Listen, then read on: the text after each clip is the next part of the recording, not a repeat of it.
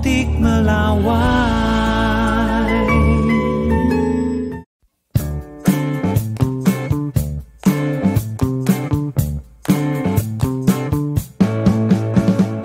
Adalah agar masyarakat bisa melihat sendiri bagaimana uh, pembangunan ibu kota Nusantara ini berlangsung dan bagaimana uh, pengerjaan yang bangunan-bangunan yang sangat indah. Ini, ini ada ibu-ibu. Silakan bu agak sini bu. Ya berasal dari mana Banjar masih. Ya jadi inilah maksud saya uh, kami adalah agar uh, masyarakat umum bisa menikmati langsung ya. Uh, kemudian juga uh, mengetahui ya progresnya sampai di mana begitu. Jadi untuk sementara per hari 300 orang. Ya, ini akan kita evaluasi terus-menerus.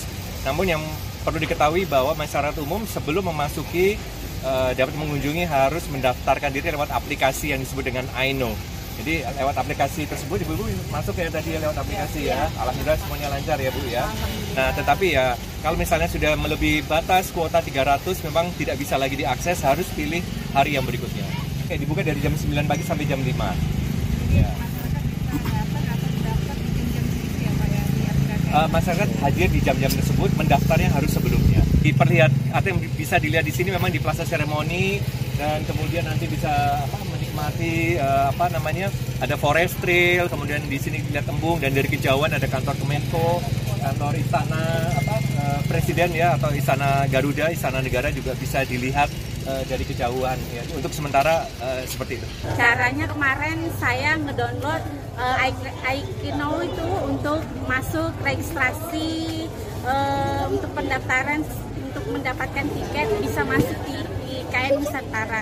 Jadi saya bersama keluarga saya rombongan dari Balikpapan kami sekitar kurang lebih ada 30 orang bersama. Uh, untuk daftarnya gampang banget tinggal download di Play Store aplikasi iKnow dan itu nanti masukin email untuk daftar di situ dan masukin passwordnya. Nanti tinggal di situ pilih registrasi masuk di Visit Nusantara untuk daftar. Nanti kita akan pilih di situ tanggal uh, untuk kita bisa registrasi tanggal berapa kita mau datang dan kebetulan hari ini hari libur saya mengajak keluarga saya untuk daftar di hari ini tanggal 16 September 2024.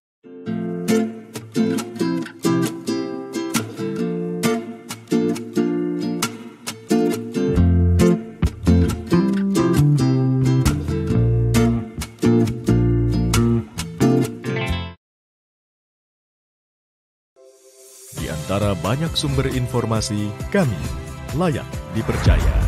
Karena kami menggali lebih dalam, berpihak pada kebenaran, berpegang pada data dan fakta, agar layak Anda jadikan referensi. Kompas TV, independen, terpercaya.